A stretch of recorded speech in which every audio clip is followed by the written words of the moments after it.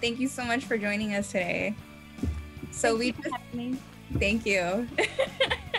so we just saw your music video, Who are You Gonna Call? Tell us a little bit about your inspiration behind the song and making the music video. So, um, the song itself is, I guess, an anthem for anyone who has gone through sort of one of those relationships where you weren't treated very well. Um, and so you've come out the other end, and it's when that ex calls and they're like, "Hey, how you doing?" And you're like, "Nope, nope, nope, nope, not today." So that's basically what the song is. It's like saying, "Nope, who you gonna call? Because you didn't treat me very well. So um, I'm not gonna be there for you now." And it's it's an anthem for anyone who basically um, knows the power of saying no i don't accept this in my life so yeah I think that's great. I think that sometimes as women, we like have an issue with boundaries, especially when it comes to love. So yeah awesome about that you created this anthem for women. I'm very excited for everyone to hear it. thank you Is music something that you always wanted to do? yes music is something that i've always wanted to do ever since i was little i couldn't imagine wanting to do anything else um it's it's just i think you know for some people you I, I was one i was very lucky i found what i wanted to do from a very young age and i pursued that and um i mean it's it's never it's it's like anything you it's it's never going to be a straight road but it's the best thing i ever did Cat, I was just curious to know. So, you enjoy music and uh, writing poetry from a young age. You discovered your love for songwriting, and you also love telling a story. How do you how do you incorporate your love for music uh, into your creative process? So um, I've always sung as long as I can remember. Um, probably drove my whole family nuts because I was that kid, always making noises um, somewhere in the house. Um, and um, when I was very young, my parent, I was very lucky. My my parents got me a piano, so I, I started playing piano, and that's where everything sort of started rolling because I would start making up my own melodies on the piano, and because um, my father really really loves um like literature. So he got me interested in poetry from a young age. And so i ended up just basically mixing the two. I, I wrote some poetry as a kid and went oh i wonder what this would sound like if i added my melodies to it. And i was very very young and didn't know what i was doing but i liked it. So i just kept going Okay, and my next question to you is what or who has inspired you into music?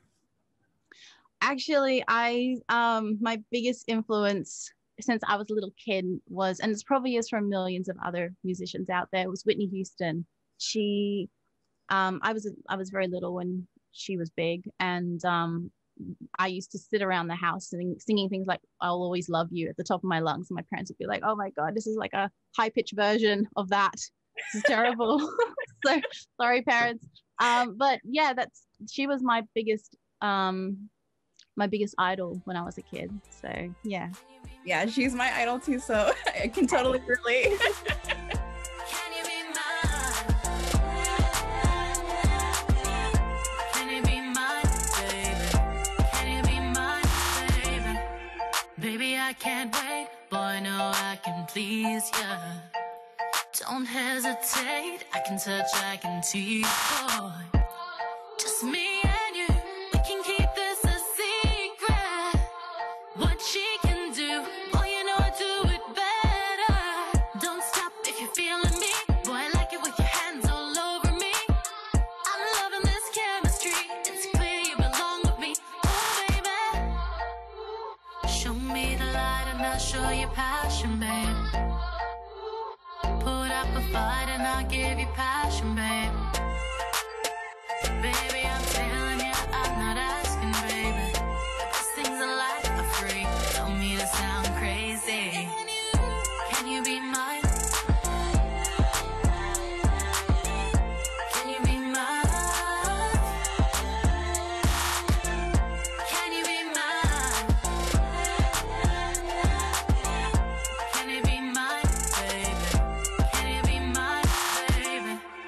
So with Be Mine, um, I basically was wanting to create something that um almost like your Valentine's Day anthem, which is I guess why the the, the um the name sort of fits. Um, it was sort of really sweet that sort of first love.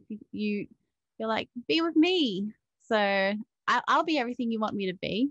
Don't worry about all the other people out there. And it's it's that sort of first initial love when you you don't know if they love you back yet, so you're almost asking the question. Um, and I really like that because it's cute because you know all the way from like little kids can be like, "Will you be mine?" Um, all the way through to obviously when you're older and like um, I think it's really cute when you see little grandparents holding hands and you're like, "Oh, I want to be like that one day." So it's the potential. That's what I think the song basically represents. So be mine and forever. How would you describe the music that you typically create? Um, so I love doing uh, music that people would like to dance to. So things that are fun and upbeat, but at the same time, I also really love ballads, and I love, um, and I think that's a throwback to my love of Whitney and and um, that sort of style. Um, so I haven't been able to release a lot of that sort of stuff yet, and that's on the cards. But um, I like both ends. I love something that makes you feel, and then at the same time, I also love something that makes you go, "Yeah, I want to go out to this. I want to have fun." So that's great. okay, so how do you balance life between music and other obligations like family, you know, personal stuff or friends? Um, I think one of the things is it's important to surround yourself with people who support and love you and are really understanding. So I'm very, very lucky that I've got friends and family who understand that what I do is really important to me and they're really supportive of that. Um, in fact, they they kind of get the cool perks. Like um, when when I go to the studio, I've got a few friends, and they're like, "Oh, can I come? Can I come into the studio with you?" So they get like a an experience sometimes that they wouldn't normally get. So um, I, I think it it comes with the territory that you know you're always working, but you, you try to make that balance. Um, when you do get time with them, you really make the most of it. I would definitely want to know, and I'm sure our viewers as well what do you do in your downtime? How do you deal with the days where there's not so much going on on a business front or with the creative process? How how do those go uh, those days go about? I like cooking. I like food. so, yeah, yeah. to cook yeah i like uh, food food. I don't think anyone in the world doesn't like food. Everyone loves food. So um yeah like i cook a lot and then everyone comes over and we share it so. nice. what's your um, favorite plate to cook? Um oh gosh there's so many things i like cook i'm really bad at baking.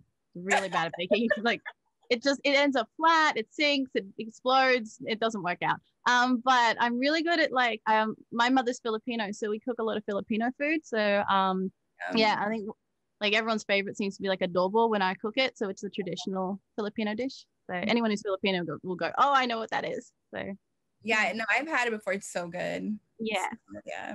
Just one one last thing I would definitely like to know is uh, what you just mentioned about having people that are close to you and understanding. Uh, what is what is your takeaway from working in the industry for quite a while now? Um, how important is it to keep small circles and yet to have a collaborative vibe going on uh, if that makes sense?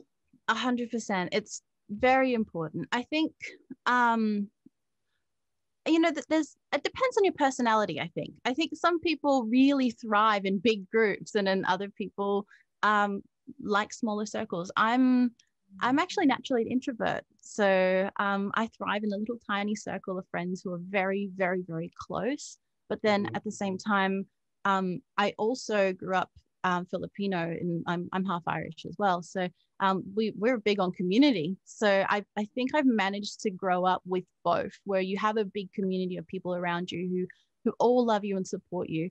And then you also have your very inner circle, like which would be like um, for most people, their their family or maybe a couple of friends who um, a shoulder to cry on if you need a shoulder to cry on or someone to be there if you just need to go oh my god i've had a terrible day. Can i talk about it? So and that's that's really important. I think everyone needs to have that. Um definitely, definitely. yeah some people just are better in bigger groups than some the little ones so it just yeah, depends just on you. curious to know, uh, what's your take on it. Um, yeah. this is something that i've been waiting on to ask you is uh, the fact that what music artists would you like to collaborate with You know, Oh my god, there's so many. Um, but I've got a huge crush on Sam Smith musically. Yeah, he's got such an incredible voice. So, and every time he releases something, I'm like, play this like a hundred times, please. so He's Yeah. he is. Yeah, It definitely is. Well, uh, thank you, Cat. Uh, I think this is all the time we have uh, for our interview with you. But thank you for joining us today uh, at Sidewalks Entertainment. Um, we'd love to talk to you more in your coming time, and um, thank you for being here with us. Thank you so much for having me. Of course. It's been a nightmare with you. Used to be a table for two. You sip, sip by